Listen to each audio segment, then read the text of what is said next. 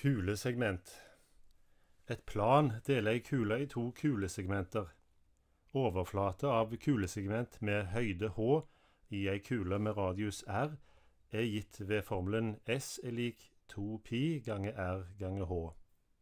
Høyden h i eh, kulesegmentet kan f.eks. være denne biten her. Hvis jeg bruker den høyden som h, så får jeg eh, overflaten av dette kulesegmentet. Jeg kan òg bruke dette som H og få overflaten av det andre kulesegmentet som oppstår når dette planet deler kula i to deler. Vi ser på et eksempel. Planet 2x minus y pluss 2z minus 4 er lik 0 deler kula gitt ved likningen x i annen pluss y minus 1 i annen pluss z pluss 2 i annen er lik 25 i to deler.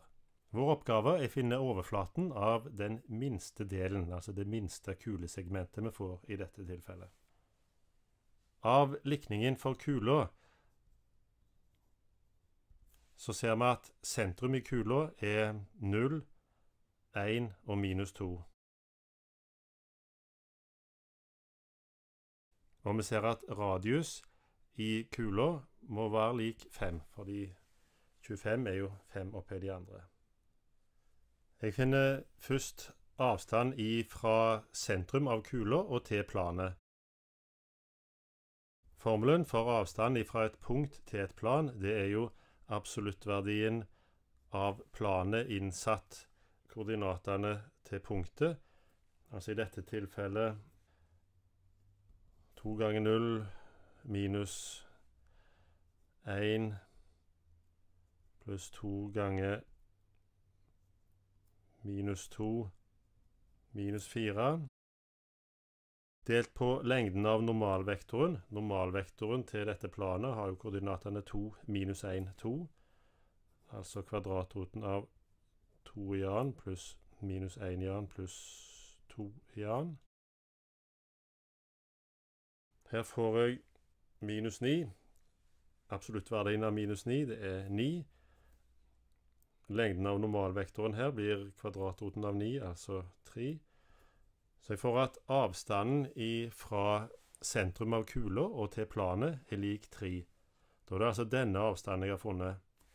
Jeg ser da at høyden i det minste segmentet må være radius minus denne avstanden her. Jeg får altså da at høyden i det segmentet jeg skal finne, blir radius R minus D, altså, altså 5 minus 3, som er lik 2. Da kjenner jeg radius i kula, og jeg kjenner høyden i segmentet, og kan bruke formelen for å finne overflaten av dette kulesegmentet. Jeg får da at S er lik 2 pi ganger 5 ganger 2, som skulle bli 20 pi. Kunne valgt en avrunda verdi, 62,8, men det er finere med eksakte verdier. Sånn som dette vil kulesegmentet vi så på i eksempelet, se ut i GeoGebra.